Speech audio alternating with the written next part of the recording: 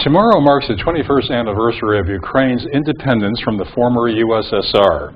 And today, the city of Binghamton raised the Ukrainian flag to mark the occasion.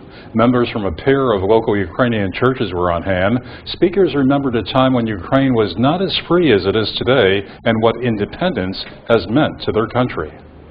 Ukraine has experienced a cultural and political revival as once again the people are free to speak their own language, celebrate their unique history and heritage, and freely express their voice in the political dealings of the nation.